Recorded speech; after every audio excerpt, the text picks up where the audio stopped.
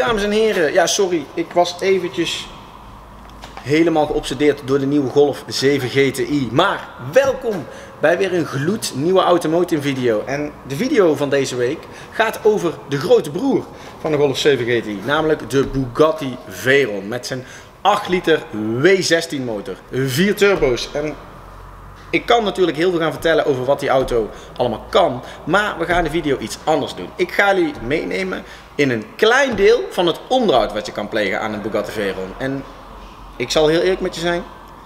Dat is niet om te lachen. Maar uh, gaan jullie mee? Zo. Ik heb namelijk het genoegen om in de buurt te zijn van zo'n Bugatti Veyron met de machtige, machtige W16 motor. En ja, de motor, dat is een heel essentieel onderdeel van deze auto natuurlijk. Van iedere auto eigenlijk. Maar laat ik jullie eventjes meenemen in wat het onderhoud van zo'n auto nou allemaal een beetje kost. Nou, iedere auto heeft een luchtinlaat. Maar die van een Bugatti Veyron die is uh, ja, van goud, uh, laten we maar zeggen. Want wil jij die kopen en vervangen, laten vervangen aan je Bugatti, 5.500 euro. Nou, en als je haren nu al overeind springen, dan wacht nog maar even. Want ook een turbo van de W16 motor, die begeeft het wel eens. Nou, moet je die eentje vervangen, dan kost het je ongeveer 8000 euro. Maar ja, we zeiden het al. Vier turbo's, dus ja, doe het maar keer 4.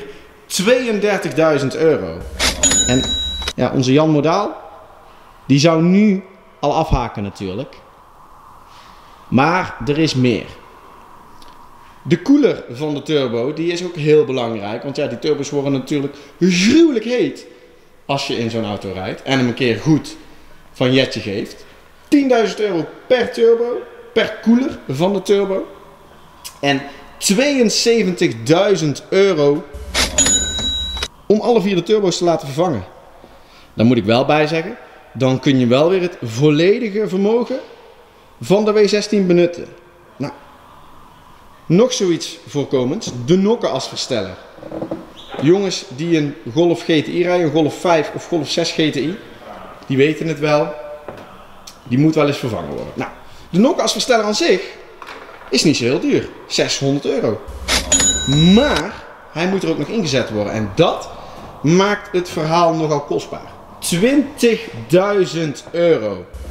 En dan zit er weer een nieuwe nokkenas in je motor. Want ja, de motor moet wel uit elkaar natuurlijk. Nou, dan pak ik hem weer eventjes terug. Want er zijn ook nog relatief goedkope onderdelen aan zo'n Veyron. De luchtmassameter bijvoorbeeld. 175 euro. En dat heeft een reden. Want deze auto deelt de luchtmassameter met de W12 van de Volkswagen Phaeton. Dus ja, er is nog wel eens iets te betalen aan deze auto. Nou, dan komt de nokken als sensor. Die zit uh, daar ergens of zo. Nou, die kost een tientje per stuk. Dus ja, vier stuks, 40 euro. Maar ja, je voelt hem al aankomen. Die dingen moeten ook vervangen worden. 6.500 euro om eventjes vier nieuwe nokkenas sensors erin te laten zetten. En als laatste de benzinetank. Nou, die kan wel eens kapot gaan. Ja, dat klinkt heel neerbuigend, maar ja, je hebt het wel eens en dan gaat hij kapot. Een benzinetankje aan zich, 18.000 euro. Maar ja, je voelt hem al aankomen. Die moet er ook nog in. In totaal komen we dan uit op een bedrag van 37.500 euro. Maar dan heb je wel de complete benzinetank weer vervangen en kun je weer volledig, het volledige vermogen van de Bugatti kun je weer benutten. Nou, en laat ik eventjes met jullie gaan zitten, want we gaan eventjes de optelsom maken.